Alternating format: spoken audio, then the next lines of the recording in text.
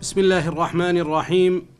الحمد لله رب العالمين والصلاة والسلام على سيدنا محمد وعلى آله وصحبه أجمعين. السلام عليكم ورحمة الله وبركاته وحياكم الله وبياكم في ديوان هيئة علماء المسلمين في عمان. وباسمكم جميعا نرحب بضيفنا الفريق المتقاعد القاضي مأمون الخصاونة. رئيس اللجنة الوطنية للقانون الدولي الإنساني في الأردن ليلقي محاضرة بعنوان الهجوم الصهيوني على غزة في منظور القانون الدولي الإنساني فليتفضل مشكورا. بسم الله الرحمن الرحيم والصلاة والسلام على سيد المرسلين نبينا محمد عليه أفضل الصلوات والتسليم وعلى آله وصحبه أجمعين الإخوة الكرام السلام عليكم ورحمة الله وبركاته. يسعدني في هذه الأمسية أن أكون بضيافة هذا الحشد الكريم من علماء وأجلاء ولكن عندما نتكلم عن موضوع آه، القانون الدولي الإنساني فهنا يعني بغض النظر عما إذا كان ما هو موقف القانون الدولي الإنساني من من من الاعتداءات على غزة فإن الموضوع بمكمله وبمجمله هو عبارة عن خلينا نقول مقالة قانونية. وقد لا تلقى يعني قد يصاحبها بعض الملل لبعض المختصين في الموضوع. لذلك يعني يعني استميحكم عذرا إن كان بعض الكلام لا يعني فيه نوع من التعابير التي معني فيها فقط المختصين في هذا الموضوع. وعندما نتكلم عن هذا الموضوع بالصحيح إن الأحداث الأخيرة للأسف التي جرت الكل أخذ يسمع عبر وسائل الإعلام المختلفة وعبر وسائل الاتصالات كلها وفي موضوع المؤتمرات بين الرؤساء والحكام. الكل أصبح يتكلم عن موضوع القانون الدولي الإنساني. أصبح الطفل يسمع في القانون الدولي الإنساني. أصبحت المرأة تسمع بالقانون الدولي الإنساني. الأسر كلها صارت تسمع في القانون الدولي الإنساني. فهذا الموضوع حقيقة بغض النظر عن أنه موضوعا قانونيا صرفا إلا أنه أخذ تزايد الاهتمام به من واقع ما نعيش به من اضطرابات ومن عدوان غاشم إسرائيلي على فلسطين وغزة. الاحتلال بشكل عام نصل رأسا للموضوع القانوني لدولة الاحتلال وقديش مسؤوليتها الاحتلال أيضا منظم باتفاقيات جنيف والاتفاقية الأولى بالبروتوكول الأول نصت في المادة الثانية منها على حق الشعوب في النضال المسلح والمقاومة المسلحة ضد الاستعمار أو ضد قوى الاحتلال في هذا الموضوع. يعني آه، نص صريح موجود. لذلك أي مقاومة لأي سلطة محتلة عملية شرعية بمقتضى أحكام الاتفاقيات وبمقتضى أحكام قرارات الأمم المتحدة وقرارات محكمة العدل الدولية. كل ذلك يقر بأن لحق الشعب حق تقرير المصير حق النضال المسلح وحق المقاومة في هذا الموضوع. ومقر يعني بدون يعني طبعا أنا أقرأ أقرأ قرارات تتعلق في هذا الموضوع آه، لكن العملية لا لا اجتهاد فيها. لا اجتهاد فيها. يعني عملية مستقرة أن لك حق المقاومة المسلحة. آه، ف فلذلك الواقع الشعوب اللاقعة تحت الاحتلال لها حق المقاومة وحق النضال المسلح. نرجع بنقول إذا سلطة الاحتلال معنية بتوفير الطعام والشراب عدم الحصار عدم العقاب الجماعي عدم التهجير القسري كل هذا مفروض بمقتضى اتفاق نصوص قانونية وليس مجرد اجتهادات في هذا الموضوع. ومن أيضا أنها تكفل مش بس هيك إن هي أن تقوم في كل المسائل اللي بتحقق وسائل الرفاهية والمعيشة. هذا الحكي طبعا أقرته بداية منين حصل؟ حصل من مش بس من الاتفاقيات حصل من ميثاق الأمم المتحدة اللي أنشأ عام 1945 واللي كان واللي ميثاق الأمم المتحدة لماذا وضع أصلا؟ الأمم المتحدة ليش أنشئت؟ أنشئت بغرض ميثاقها المنصوص عليه بأنها لغايات معينة حفظ الأمن والسلم الامن الدوليين تحقيق النماء والتعاون المشترك ما بين الدول تحقيق النماء والرفاه الاقتصادي والثقافي والاجتماعي وتبادل التبادل التعاون بين كل الدول.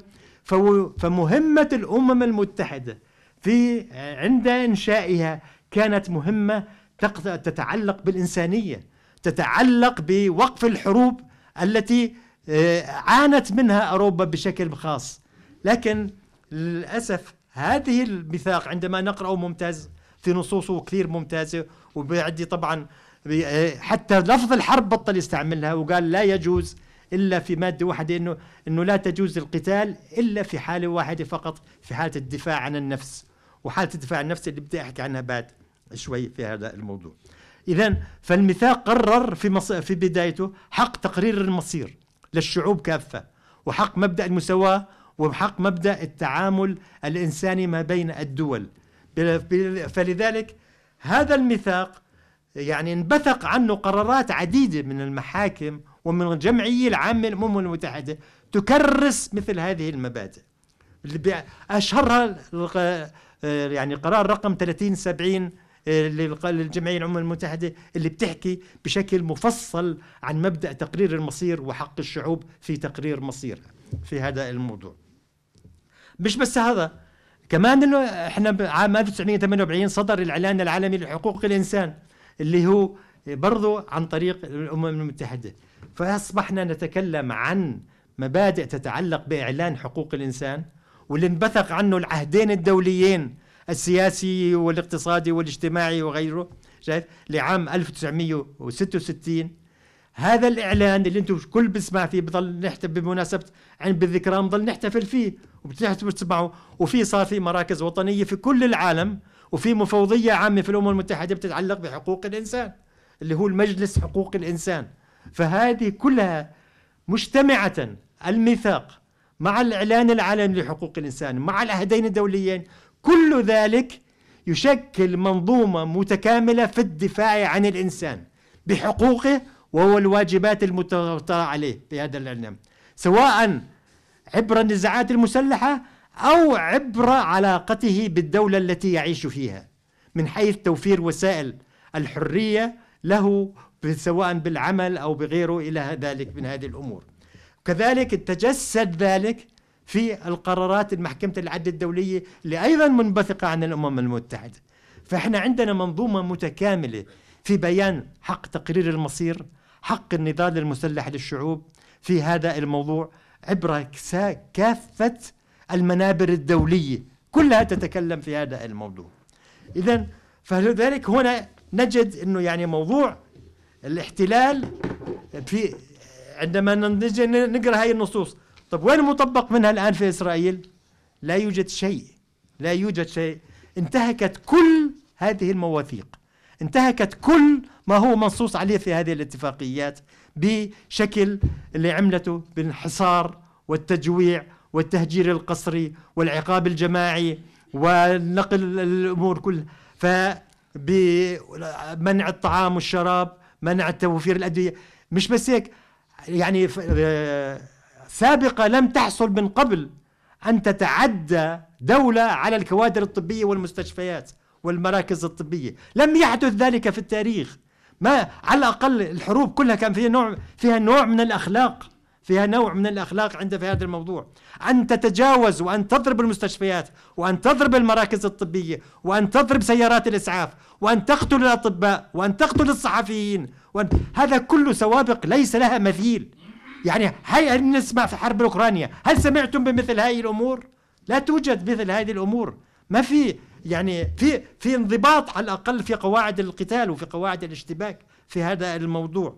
فلذلك هنا الانتهاك صارخ في هذه المواثيق بشكل غير معقول وبشكل يتنافى مع كل قيم الأخلاق وقيم الإنسانية في هذا الموضوع. ويتنافى مبادئ الأمم المتحدة اللي بتقول لك وين حفظ الأمن والسلم الدوليين؟ طيب إحنا وين حق تقرير المصير؟ وين حق الشعوب في النضال؟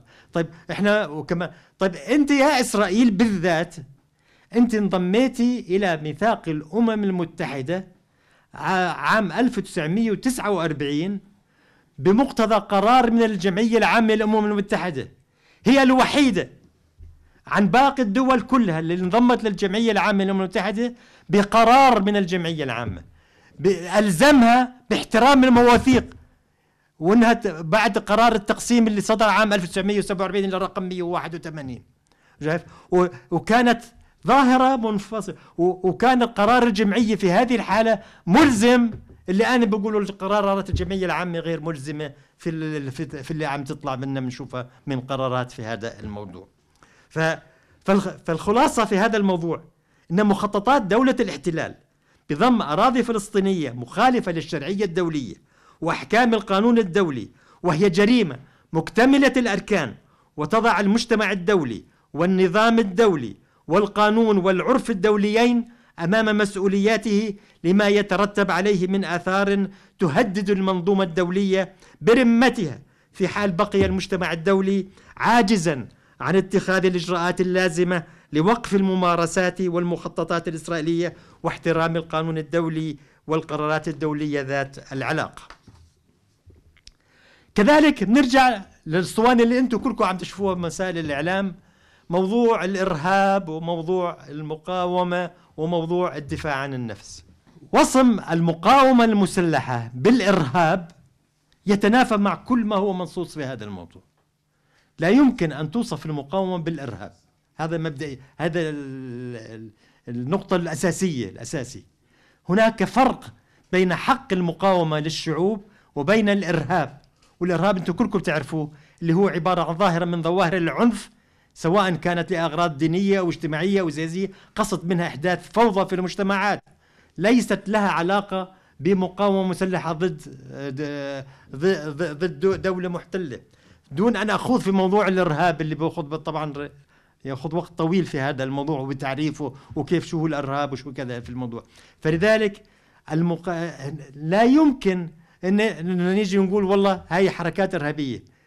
هذا مفهوم يطلق لتحقيق مصالح خاصة لبعض الدول وليس متفق مع التحليل القانوني ومع أي أمور قانونية أخرى. أنا بدي أحكي لكم هلأ أنتم كلكم يعني الثورة الجزائرية اللي استمرت الاحتلال الفرنسي استمر إلى مدى 132 عام. آه، من عام 1000 و832 يمكن 1830 إلى عام 1962 130 عام. شو كان شو كانت توصف الجزائر المقاومة؟ نفس نفس الوضع الآن. إرهابيين حركات إرهابية. جنوب أفريقيا ونيلسون ماندولا شو كان يوصف؟ إرهاب. كل ما هو كان ضد الاحتلال كانت الحركات مش شيء جديد نقول عن المقاومة الآن إنها مقاومة إرهابية. هذا يعني أمر متعارف عليه للدول الكبرى صاحبة المصلحة في بقاء نير الاحتلال على الدول. فلذلك ليس هو أمر مستغرب في هذا الموضوع. لكن هل وصم الإرهاب ينفي بالحقيقة عندما تستقل مثل هذه الدول؟ الجزائر الآن استقلت بعد أن تكبدت خمسة مليون شهيد وكان آخرها مليون ونص في الحركة الأخيرة في حركة التحرير الأخيرة. خمسة مليون فقدت الجزائر. وجاء أيضا آه، اسرائيل آه، أيضا جنوب أفريقيا الدول كلها في هذا الموضوع. استقلوا الآن من؟ من هم أبرز دولتين في أفريقيا الآن؟ الجزائر وجنوب أفريقيا من الدول القوية حد بيقول عن الجزائر الآن إرهابية حد بيقدر يوصف جنوب أفريقيا ولا غيرها إرهابية؟ كل ذلك إلى زوال الاحتلال إلى زوال الأوصاف اللي بتنصفها بالإرهاب إلى زوال لأنه لا يتسم مع الحقيقة. لا يتسم مع أي ظرف من, من, من, العقل في, في هذا الموضوع. فلذلك أن وصفه بدلالات سياسية بعيدة عن الأمور القانونية أمر متناقض مع ما هو واقع في هذا الحال ولا يمكن لا يمكن القبول به إطلاقا. فقيام دولة الاحتلال باتهام حركات المقاومة بالإرهاب محاولة بائسة لتثبيت الاحتلال واغتصاب الأرض والحقوق والمقدسات العربية وتهويدها وكسر إرادة هذا الشعب المكافح لنيل حريته وساعده في ذلك دول الغرب في سياستها التي تتصف بازدواجية المعايير وفقا لمصالحها الشخصية باستخدام لفظ الإرهاب بتطويعه بما يتفق ومصالح القوى الكبرى الذي بموجبه تمنح الشرعية لأي فعل يلائمها وتنزعها عن أي فعل يعارضها بمعنى استخدام هذا المفهوم كمصطلح سياسي بامتياز دون النظر إلى أي معايير قانونية دولية أو أخلاقية. وبالتالي تراجع المبادئ الأخلاقية والقانونية أمام المصالح السياسية ويفضح ازدواجية الأخلاقية لدول الغرب. هذا يعني في الق... أي واحد قانوني أو أستاذ في القانون سواء كان إسرائيلي ولا سواء كان أمريكي ولا شو ما كان لا يستطيع أن يتجاوز عما هذا موجود. عند المتخصص بده مش راح يقدر يطلع عن عن عن عن عن مخزونه العلمي الموجود عنده في هذا الموضوع. لكن كل موضوع عبارة عن مواضيع سياسية في هذا الموضوع. وبعدين نرجع كمان نقطة الدفاع عن النفس. المقولة التي لا تزال تتكرر والتي للأسف تتكرر من بعض الدول العربية أيضا في هذا الموضوع. تتكلم عن موضوع الدفاع عن النفس. أي دفاع عن النفس؟ هل إسرائيل بما تقوم به الآن هو يشكل حق الدفاع عن النفس؟ حق الدفاع عن النفس حسب ما هو منصوص بميثاق الأمم المتحدة هو حق ما بين الدول وليس بين حركات آه، مقاومة. يعني النص اللي جاي في الميثاق الأمم المتحدة نص على حق الدفاع عن النفس. بالمادة الرابعة فقرة اثنين. شايف؟ بقول إنه للدولة اللي إذا اعتدى عليها حدا بقوات المسلحة إنها تدافع عن نفسها. شايف؟ هاي الحالة الوحيدة اللي اقرتها ميثاق الامم المتحدة. فنحن لسنا أمام حالة دفاع عن النفس لأنه المقاومة المسلحة حق مقرر قانونا بحق الاتفاقيات والمواثيق الدولية كلها في هذا الموضوع. لكن ما تمارس الدول بالعكس إسرائيل تمارس في هذا الموضوع إرهاب ما يسمى بإرهاب الدولة. مش مش الحركات الإرهابية وإنما هي تمارس إرهاب الدولة في هذا الموضوع. من كافة الصنوف التي تشكل انتهاكات لكل هذه المواثيق في الموضوع. فلذلك لا يمكن أن نقول أن هناك دفاع عن نفس لسلطة محتلة. السلطة المحتلة طبعا السلطة المحتلة مش رح يعني الحركات التحرير كلها كيف تقوم بالمقاومة؟ المقاومة السلطة المحتلة ما بتضل واقفة. ما بتضل والله أنا بديش بتضرب. بتقضي على المقاومة. لكن لا يسمى دفاعا عن النفس وإنما يسمى بردة الفعل وليس بدفاع عن النفس. ردة الفعل هذه التي تقوم بها السلطة المحتلة حتى وهي تقوم بردة الفعل واللي هو الموضوع غير شان يجب أن يتناسب مع مبادئ القانون الدولي الإنساني اللي بتقوم على مبدأ التناسب ومبدأ التمييز ومبدأ الإنسانية. هذه مبادئ القانون الدولي الإنساني في هذا الموضوع. فهي حتى فيما يجب أما أن أن تقوم بإبادة جماعية وتدمير كلي لكل ما هو كائن على وجه الأرض هذا لم يعني آه، سابقة حقيقة وستبقى هذه الموضوع هذه الأجيال كلها راح تأرخها وهذا على فكرة كله راح يتأرخ بالتاريخ. سيبقى وصمة عار في جبين الغرب كله. سيبقى وصمة عار سيذكرها التاريخ بما بهذه بما يجري من هذا الانتهاكات بهذا الموضوع. ولن تنسى الأجيال ما جرى وسيتم المحاسبة على كل ذلك في هذا الموضوع. ولذلك فلذلك هل نستطيع نقول أن إسرائيل فوق القانون؟ حاليا بدول مع أمريكا هي فوق خلينا نقول عنها فعلا أنها تقوم فوق لكن هل ستبقى فوق القانون؟ لا. لن تبقى إسرائيل فوق القانون. وسيأتي اليوم طال أم قصر للمحاسبة والمساءلة سواء كان عبر المسؤولية الفردية أو المسؤولية مسؤولية الدولة نفسها في هذا الموضوع. خاصة أن جرائم الجرائم الانتهاكات الجرائم اللي بتشكلها القانون الدولي الإنساني اللي هي جرائم الإبادة الجماعية وجرائم الحرب وجرائم ضد الإنسانية لا تسقط بالتقادم وإنما تبقى المساءلة موجودة ولو بعد مئات السنين. سواء فلذلك هذا يعني لن لن يحيد عن هذا الموضوع اطلاقا وستبقى إسرائيل مسؤولة وستبقى آه، أمريكا في في في تعنتها وفي شراكتها مع إسرائيل ستبقى بالنسبة لها حتى هذا سيسجل عنا أنها كانت وصمة عار عندما كانت الوحيدة في مجلس الأمن التي آه، آه، تحارب آه، باستعمال الفيتو ضد وقف إطلاق النار. مع ما هو يجري من قتل لغاية الآن إحنا صرنا نحكي بثمانين ألف. وقد يصل العدد إلى أكثر من ذلك للأسف. وأنا في بداية أنا في بداية ال بس كان بيسألني واحد بيقول لي قديش لما كانوا لسه بعتهم كانوا عبت 500 600 واحد. قلت له سيصل المبلغ سيصل العدد إذا لم أبالغ إلى مئة ألف. شايف؟ إلى مئة ألف. هل هذا لسه إحنا إحنا نحكي بنحكي عن 80 ألف اللي شافوهم اللي تحت الأنقاض لسه آلاف اللي تحت الأنقاض آلاف في هذا الموضوع. فإذا الموضوع ما يعني سجل عار في جبين الغرب في هذه الطريقة حقيقة. ولن تنسى لن تنسى الشعوب ذلك ولن تنسى أي منطقة أنه ما, ما جرى في هذا الموضوع. بظل كمان يجي السؤال طيب إحنا يعني هل في وسيلة الآن للمحاسبة والمساءلة؟ والآن بنسمعنا إحنا الآن في المحكمة الجنائية الدولية وفي في الإحالة إلى المحكمة الجنائية الدولية في هذا الموضوع. وفي دول تقدمت بشكوى إلى محكمه الجنائيه في خمس دول تقدمت من ضمنها الجزائر وجنوب أفريقيا وغيرها. وأيضا في منظمات دولية تقدمت إلى المحكمة الجنائية الدولية. في الآن هيئات واتحاد محامين أيضا العرب بحق على أساس إنه تقدم شكاوى في هذا الموضوع. قرارات المؤتمر القمة العربي الإسلامي اللي صدر كان من ضمن قراراته تشكيل لجنة لتوثيق الانتهاكات الإسرائيلية وتقديم الملف للمحكمة الجنائية الدولية. بس أنتم سمعتوا عنها شيء؟ ما سمعتش بعدها يمكن كانت عبارة عن آه، في الدرج كانت يعني في الموضوع. فلذلك فهذا يعني آه، السؤال إنه هل فعلا هناك جدوى في في المحكمة الجنائية الدولية أم لا؟ في هذا الموضوع. آه، للأسف أن المحكمة الجنائية الدولية قد سيست.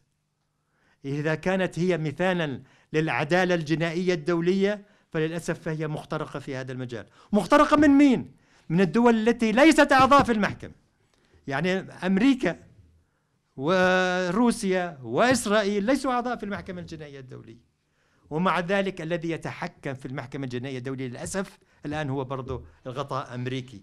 يعني فق... فلذلك إحنا فقدنا العدالة الدولية. حتى العدالة في فقدناها؟ للأسف كان يعني قبل الموجود الان المدعي العام كان اسمه هذا الحالي اسمه كريم خان. من أصول باكستانية وإسلامية ومسلم على فكرة شايف؟ لكن معه الجنسية البريطانية إنجليزي شايف قبله كان في وحدة أفريقية مدعية عام اسمها فاسو آه، كانت لأنها من أصول أفريقية كان لسه عندها حس الإنساني وحس العدالة. فلذلك إذا بتتذكروا تقدمت الشكاوى من من من من الفلسطين بحق الانتهاكات الإسرائيلية بفلسطين ما جرت في في في, غزة وفلسطين. وأيضا فقامت هي إذا سمعت رجعتوا قبل فترة كان سمعت إنه كان في باشرت المدعية العامة بالتحقيق وجمع المعلومات في هذا الموضوع.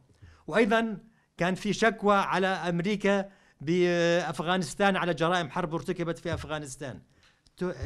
قامت بالتحقيق في الثنتين. بعدين رأسا انتهت. جابوا كريم خان. كريم خان شو سوى أول شيء ملف الأمريكي أغلقوه نهائي وملف الفلسطيني الإسرائيلي جمده الآن أنت يا مدعي عام أنت الآن الموجود أنت في المحكمة الجنائية. أنت كيف سارعت وبسرعة شديدة وفي بضع أيام ودون تحقيق من كافة الأطراف بإصدار مذكرة توقيف توقيف في حق بوتين. وعلى إيش؟ على تهمة اللي هي منصوص عليها بجرائم الإبادة الجماعية آه، إنه عبارة عن نقل الأطفال إذا بتتذكروا نقل الأطفال من من أوكرانيا إلى آه، روسيا. على هذه التهمة أصدر مذكرة توقيف في حق بوتين. في خلال بضع أيام وبسرعة هائلة جدا. طيب طب أنت اللي سويت هذا الحكي بهالسرعة؟ يا أخي طيب وانت وهالمجازر اللي عم بتصير هذه ما بتحركك؟ ما بتثير هيك في عندك أي شؤون في هذا الموضوع؟ إيش هذا؟ شايف؟ وهل هل من تعتقدوا إنه في منتظر إنه يسوي شيء لن يعمل شيء في هذا الموضوع شايف؟ لأنه مسيس إنسان مسيس في هذا الموضوع. جاء في زيارة إلى على الحدود عن غزة ورد راح وراح رجع الزيارة في فلسطين وقابل بعد شو راح يقابل؟ راح يقابل المدنيين اللي تضرروا الإسرائيليين في إسرائيل وليست في غزة. يعني ف فلذلك تجد الظلم بأبشع أنواعه. الظلم الشديد اللي عم يمارس بشكل غير طبيعي في هذا الموضوع. فلذلك عندما يعني لا يوجد أنا شخصيا لا أجد أملا في المحكمة الجنائية الدولية بغض النظر عن كنا يعني متأملين بأنها ستكون كقضاء جنائي دولي دائم أن يكون نبراس للعدالة ويحقق يعني على عدالة للشعوب. لكن للأسف كانت يعني لم تصل إلى مثل هذا المستوى. على طبعا هو السبب سبب رئيسي في هذا الموضوع. يعني ليش إحنا عم نجد الآن الظلم الصارخ بهذا الشكل؟ الواقع لما نرجع نحكي هذا في الموضوع سببه الأساسي أن أن أنه أن انهيار التوازن الدولي في هذا الموضوع عام 1992 بانهيار الاتحاد السوفيتي وجعل أمريكا هي القوة الوحيدة المهيمنة على العالم أصبحت هي المسيطرة و وكانت فرصة لأمريكا كقوة مهيمنة وحيدة أن تمارس أسس العدالة في التعامل مع الدول ومع الشعوب. لكنها استفردت ظلما وبزورا وبهتانا على هذه الشعوب بهذا المنطلق لذلك فقدان التوازن الدولي أدى إلى ما نحن نعيش فيه حاليا في هذا. لعل وعسى أن يعود التوازن الدولي مرة أخرى وأن يكون هناك تعدد قوى قطبية متعددة. هذا لصالح الشعوب على فكرة لصالح خاصة الشعوب الضعيفة الشعوب التي ليست لديها القوة الكافية لتدافع عن نفسها في هذا الموضوع. فلذلك يعني أيضا في نقطة أخرى وأنا ذكرتها في أكثر من مرة وحكيتها في أكثر من منبر في هذا الموضوع. أنه إحنا مو شرط نرجع إلى المحكمة الجنائية الدولية لمحاسبة إسرائيل اللي أنا عارف نتيجة سلف مش راح تؤدي إلى نتيجة في هذا الموضوع. عندنا جري... باتفاقيات الأسلحة جريمة الإبادة الجماعية. هاي لعام 1948 ومصادق عليها 192 يعني 191 دولة تقريبا. ومن ضمنها إسرائيل بالمناسبة. من ضمنها إسرائيل مصادقة على هذا الموضوع. هذه الاتفاقية. آه، مذكور في نص المادة التاسعة منها. طبعا بتعرف الإبادة الجماعية و, وما هي يعني أنواع الج... الج... شو هي الأشكال الجريمة الاباده الجماعية واللي هي نفس النص الموجود بنظام روما الأساسي للمحكمة الجنائية الدولية. فقالت في المادة التاسعة إنه إذا صار في أي خلاف ما بين أي دولتين على أساس إنه هذا. إنه أي فعل يشكل اباده جماعيه هي بتنظر في هذا النزاع وبتقرر إنه إذا في إبادة جماعية أو لا. هذه مش ما لهاش علاقة بالسياسة. وهذه ليست علاقة أنه وأنا منتظر أنه أنا أجي أني أتدخل وأجي وأنها يعني هذه ما يعني هذه محكمة العدل الدولية وليست المحكمة الجنائية الدولية بقى آه، آه، قامت المؤتمر التعاون الإسلامي كلف دولة غامبيا بتقديم شكوى ضد مينمار على ما جرى من إبادة للمسلمين في مينمار. بشكل على أساس إنه وصف كان إبادة جماعية في هذا الموضوع. وفعلا تقدمت الشكوى بالنيابة عن منظمة الإسلامية ونظرت المحكمة في هذا ال ال الأفعال تاعت بنارة واقرت بأن هناك إبادة جماعية. هون ما في مجال لا لكريم خان ولا لغيره عندما يصدر قرار في هذا الموضوع بأن هذا الفعل يشكل إبادة جماعية يشكل إبادة جماعية أصبحت الدولة مسؤولة في هذا الموضوع. فواجب عليها أنها يعني أنها تراعي هذا الحكم. وأي وإذا لم تراعيه هذيك الساعة باخذ الملف وبروح على كريم خان غصبا عنه. بده يقدم الملف ويقدمه للمحكمة الجنائية الدولية في هذا الموضوع. لذلك يعني يعني الأمور لكن للأسف لا يعني مع كل ما يجري من عنف لكن لا يوجد هناك لغاية الآن يعني آه، خلينا نقول موقف عربي موحد يستطيع أن يعالج مثل ما نعيش فيه نأمل يعني نأمل إن شاء الله أن تتحد كلمة الأمة وأن يتحد قادتها. وأن يراعوا الخطر الأمن القومي الذي تعيش فيه أمتنا. وأن ندرأ كل ما هو يعني خطر يشكل على أمتنا. الموضوع مش موضوع دولة ولا موضوع فريق ولا موضوع الخطر علينا كلنا. نحن في خطر داهم كأمة وكدول عربية. يعني نستلهم الله داعيا أن يلهم قادتنا الصواب وأن يريهم الحكمة. في معالجة أمور مصالح شعوبهم ودولهم. وعلى الله نسأل التوفيق ولكم كل التوفيق والنجاح. والسلام عليكم ورحمة الله وبركاته. آه، شكرا جزيلا الأستاذ المحاضر. أهمية هذه المحاضرة تأتي من آه، المزاج العربي والإسلامي الهائل بصفته العاطفية مع غزة. وتحدث آه، المحاضر مشكورا آه، بجانب علمي ونحن نحتاج إلى الجانب العلمي الذي يحرك العقل كثيرا مع أهمية الحماس والعاطفة. واقعا عندما نتحدث عن غزة وفلسطين والحرب عليها وما جرى وما يحصل من خرق كبير للقانون والاتفاقيات الدولية آه، نجد ذلك أيضا قد حصل بذات الشكل في العراق.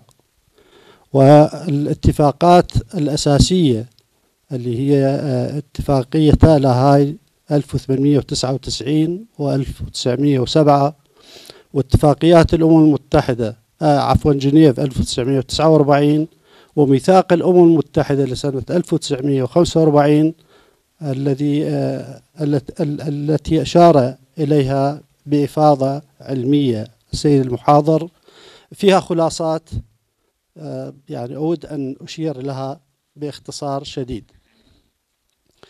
ميثاق الأمم المتحدة في مادتي 51 و 52 51 أعطت الحق للشعوب التي تتعرض للاحتلال أفراد أو جماعات بمقاومة الاحتلال. وهذا نص رسمي موجود في ميثاق الأمم المتحدة. الأمر الثاني منعت آه، المادة 51 قوات الاحتلال من التلاعب أو التغيير بالهيكل القانوني والتنظيمي للدولة التي تقع تحت الاحتلال. وهذا خرقته إسرائيل كما خرقته الولايات المتحدة في العراق. الخلاصة أخرى مهمة من هذه الاتفاقيات أن الاحتلال يقع على الشعب الذي يقبل بالاحتلال. بمعنى أن ألمانيا لم تقاوم الاحتلال في 45 كذلك اليابان. فسار الاحتلال ووضعوا قوانين أخرى رغم أنهم لم يغيروا القوانين إلا بحدود بالحدود التي وافق عليها الألمان واليابانيين.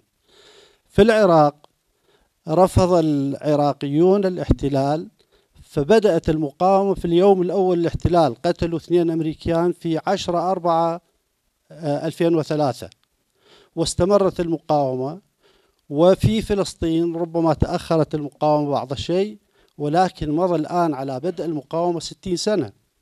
طيلة هذه الفترة لم تتوقف المقاومة.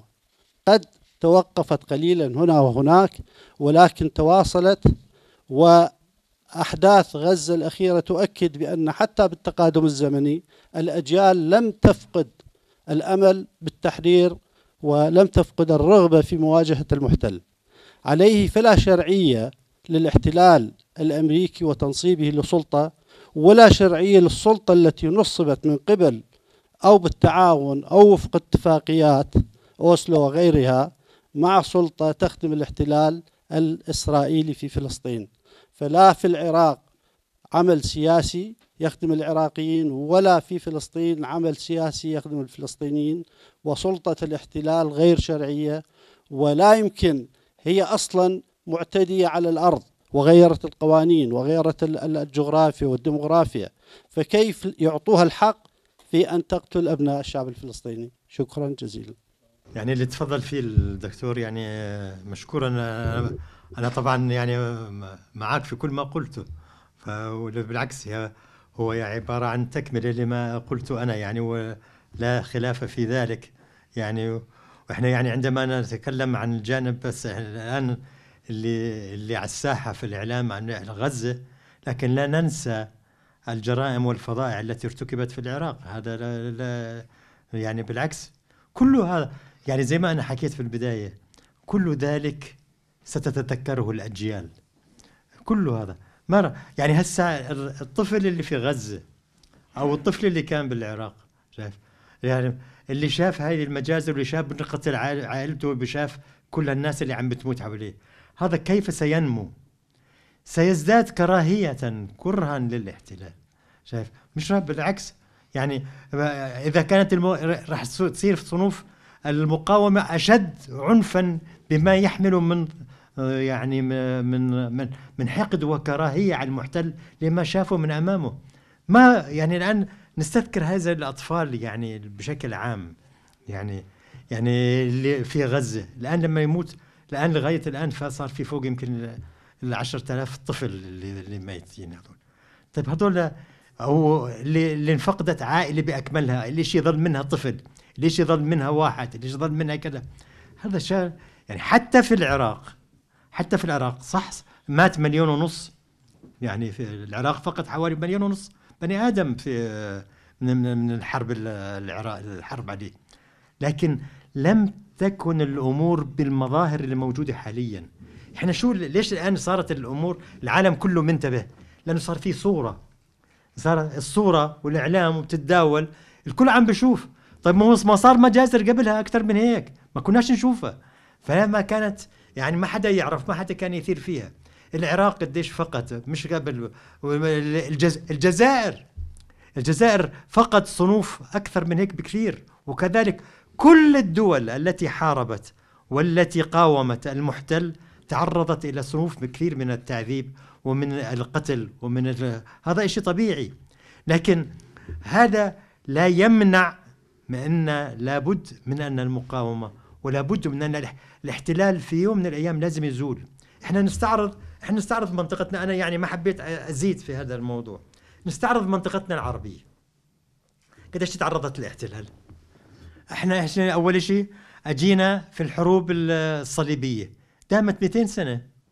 وشكلت أكثر من إسرائيل. استيطان كامل واحتلال كامل لمدن ودول وتمارس ومش بس كمان لسه دولة زي هلا إسرائيل دولة واحدة. عدة دول. اللي بعكا لحاله واللي بالقدس لحاله واللي فلان لحاله. واستيطان كامل. وأوروبا كلها تآمرت علينا في هذا الموضوع. ظلينا 200 سنة في الصليبيين. في الاحتلال. هل هل بقي الاحتلال؟ زال. طيب المغول والتتار عندما جاءوا لنا يعني الأمة العربية استوعبت التتار وأصبحوا بالنتيجة مسلمين وجزءا من, من, من هذه المنطقة. شايف؟ وللأسف أوروبا لا تذكر الجميل. ما جرى في 1240 بمعركة عين جالوت عندما هزمت التتار في هذه المعركة العظيمة التي حمت الأمة بالنتيجة وقضت على التتار كقوة آه، مرعبة كان كان الفضل اوروبا لازم تشكر الأمة العربية وقتها لأنه نحن حمينا أوروبا وقتها. شايف؟ حمينا أوروبا لأنه التتار كانوا مش منطق مش مم مش معنيين بس بالعرب. هم بدأوا من آسيا الصغرى وبدهم يكملوا على العالم كله. جنكيز خان قتل نص سكان الأرض. شايف؟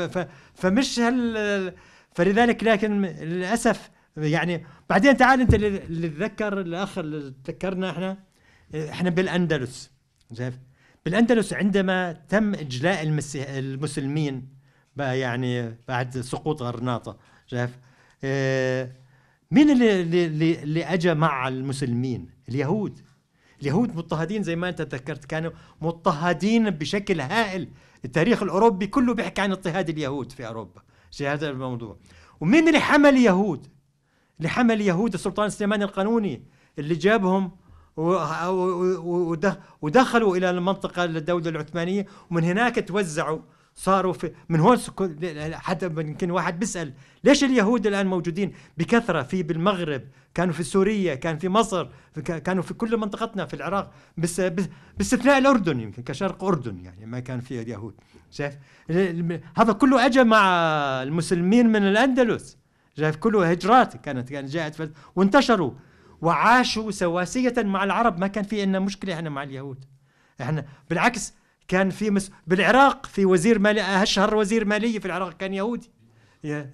يهودي الحريص على المال العام والحريص على الدنيا كلها. جاء في الموضوع آه آه آه من, من أشهر أشهر وزير في هذا الموضوع. لا العداء ليس لنا إحنا مع اليهود وإنما العداء مع الصهيونية. عندما تفكر فكرة الصهيونية وأصبح هناك في ولذلك لغاية الآن إحنا بأمريكا عم بتشوفوا مظاهرات من اليهود ضد الصهيونية. مظاهرات من اليهود ضد الصهيونية. فلا فما في يعني انسى حتى التنبؤات الدينية وما غيرها. إسرائيل لن تبقى لن تبقى مهما كان الضعف العربي. إسرائيل إلى زوال في ضمن هذا المنطق.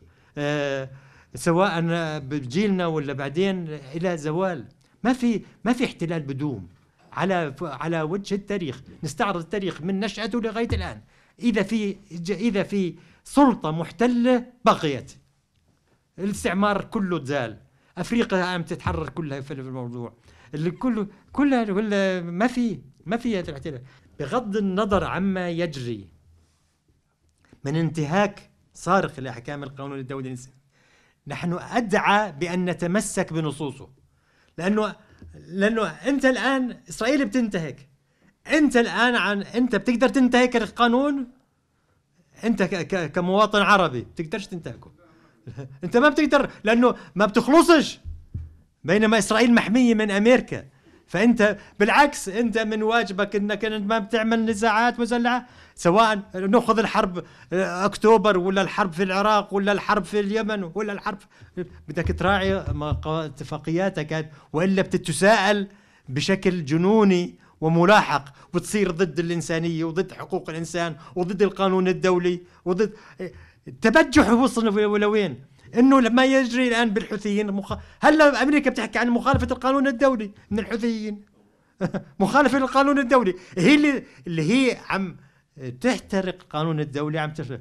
طب بعدين بعدين إحنا قاعدين بنحكي إنه الغرب يعني بتآمروا معنا بهالشكل هذا. مش غريب. ليس مستهجنا لأن الغرب في عداء مع هذه المنطقة عبر التاريخ. ما في مجال ما في مجال للمساومة وأنه في يوم من الأيام تصفى قوى الغرب إلنا. هذا حقيقة تاريخية موجودة في بالنسبة لنا مش ما يعني لا يمكن أن ننساها في هذا الموضوع. لكن لكن شو اللي صار؟ إنه الموقف الأخير زي ما تقول كشر الغرب عن أنيابه انكشف. كشف ما هو ما يضمر من حقد وكراهية إن في هذا الموضوع. يعني هو بس أمريكا ان أن تتآمر كل دول الغرب عليه في في هذا الموضوع. كشفت الطابق. فلذلك لا عادي يظلوا يسحبوا علينا مزايدات بحقوق الإنسان وبالقانون الدولي وبغيره. الآن أنا عندي أي أي واحد هسه بدي تيجي تحكي لي عن القانون الدولي لحقوق الإنسان من من واحد أمريكي إن إذا أنا انتهيت أقول له وقف. انت قبل ما تحكي معي احكي معك انت اللي انت عم تنتهك. إذا انت ما إذا انت بتحترم القانون الإنساني أوكي ماشي.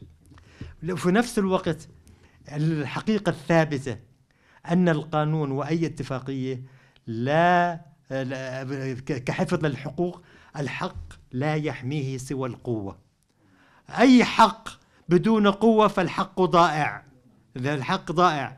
لذلك لا نح إحنا إحنا بنتمسك في القانون لكن مش على أساس أن نبني أنفسنا نبني قدراتنا نبني قوتنا. إحنا الآن الآن المشكلة مش مشكلة في القانون ما يجري مشكلة في مواقفنا مشكلة فينا. لذلك لا لا نعيب على القانون لا نعيب على القانون مال لا القانون أنا لو إني دولة قوية بمسكه وبحارب فيه القانون أول واحد بحارب فيه. لأنه هذيك الساعة بحطه في عينه. بقول له تعال انزل. لكن لما أكون أنا ضعيف شو بقدر أسوي؟ شايف شو بقدر أسوي في هذا الموضوع؟ شكرا لسعادة القاضي الفريق المتقاعد مأمون الخصاونة رئيس اللجنة الوطنية للقانون الدولي الإنساني في الأردن على هذه المحاضرة القيمة. والشكر موصول لكم سادة الحضور على حسن الاستماع والمشاركة في المداخلات والأسئلة. وعلى أمل أن نلقاكم إن شاء الله في مجالس ثقافية قادمة بإذن الله تعالى. نستودعكم الله. والسلام عليكم ورحمة الله وبركاته. شكرا.